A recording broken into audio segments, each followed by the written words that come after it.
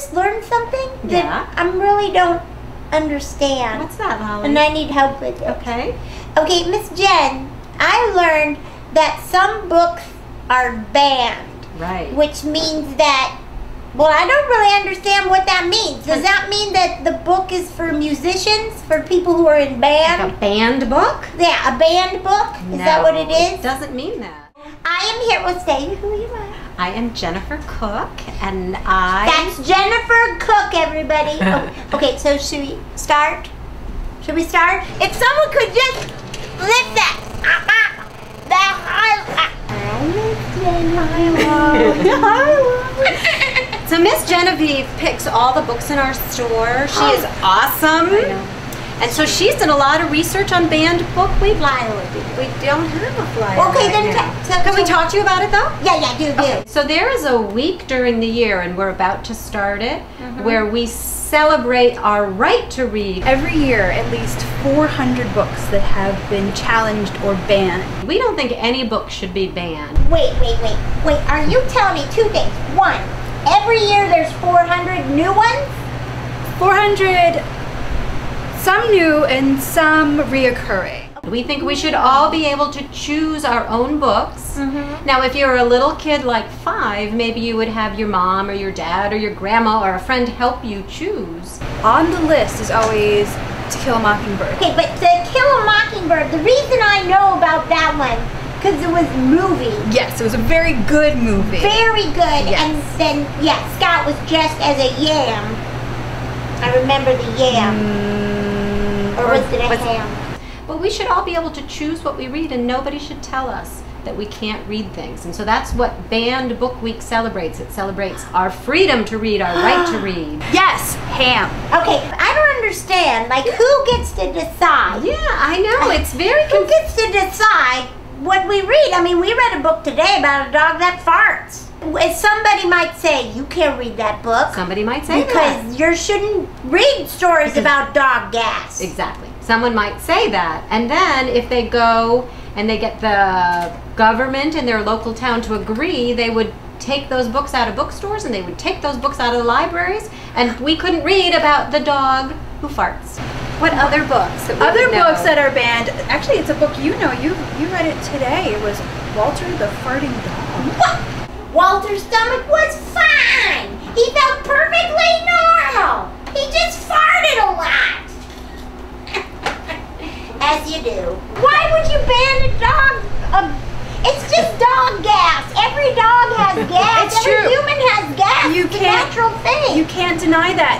People didn't like that the word fart was used 24 times. A comedy? Uh, It's true.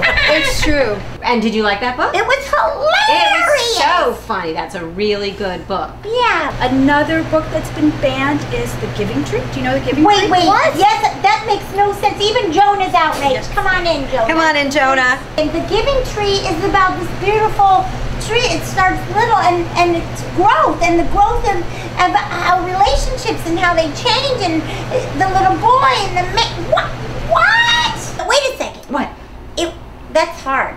Like, how do I find a book? If the book is banned, How do you find it? how am I gonna find it? I know. Well, luckily, a lot of books are banned, but not everywhere. Maybe just in one little county of America.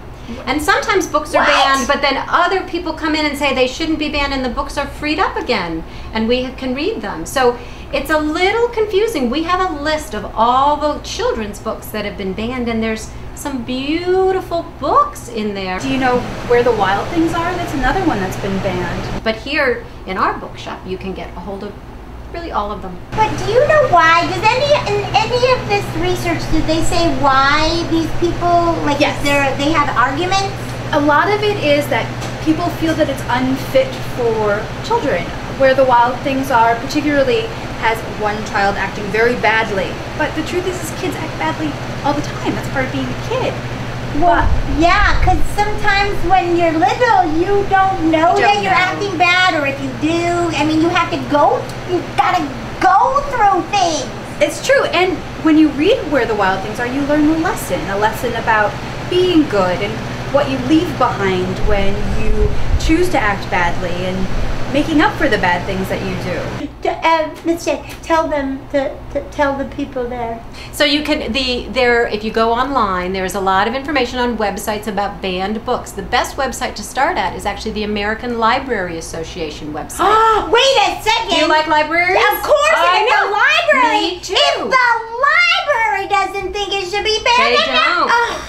So the place to start is the American Library Association website, and I'm then gonna. find out about the banned books section, and you can find history on banned books, and you can find lists of banned books.